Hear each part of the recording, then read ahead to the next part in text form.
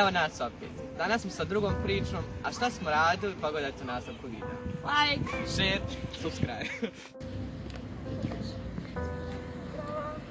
Htjeli bismo vam vidjeti reakciju na par stvari koje ćemo vas pitati, je li to u redu? Jes, nije problem. Šema, možeš doći? Ovo je Šema. Pravo. Evo ja sam Binja. Šema. Šta si prvo primijetio na Šemi Benju kad si je vidio? Um, njene oči i kosu. Jel ti se sviđa njena kosa? Sviđa. Možeš li je zagrliti? Mogu. Nije problem. A možeš li udariti? Ne mogu. Zašto? Zašto ne bi? Um, inače sam protiv nasilja ne podigao ruku na žensko.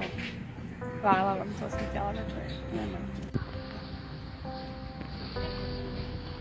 Ćao. Ćao. jel ti mogu postaviti par pitanja da vidim tvoju reakciju? Adna, molim te dođi. Ćao, ja sam Adna. Ovo je Adna. A, jel ti lijepa Adna? Da, jest. Hvala.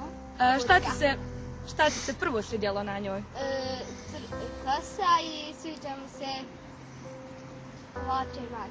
Hvala. A, hoćeš pomilovat Adnu? Da ću joj kosu? Da. Hoćeš zagrlit Adnu? Ja, Odi vam.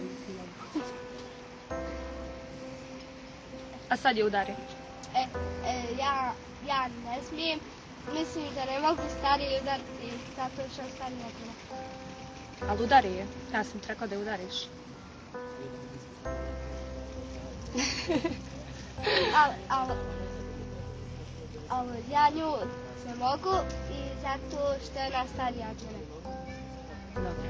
Hvala. Hvala. Se zoveš? Sam. Drago mi je, ja sam Adna. Jel ti mogu postaviti par pitanja? Edita, hodi dođi. Ovo je Edita. Što si prvo vidio na Editi ovako sad kad je došla? Jel ima nešto da ti se sviđa? Šta? Lice. Oči, jel da? Jel bi mogu zagrliti Editu? Hajde zagrliti. A sad kad ti rekla da udariš Editu, jel bi udario? Ne bi, Zašto? zato. Ne bi udario? Ne bi. Bravo, svaka čast, ti ćeš biti pravi momak. Tako.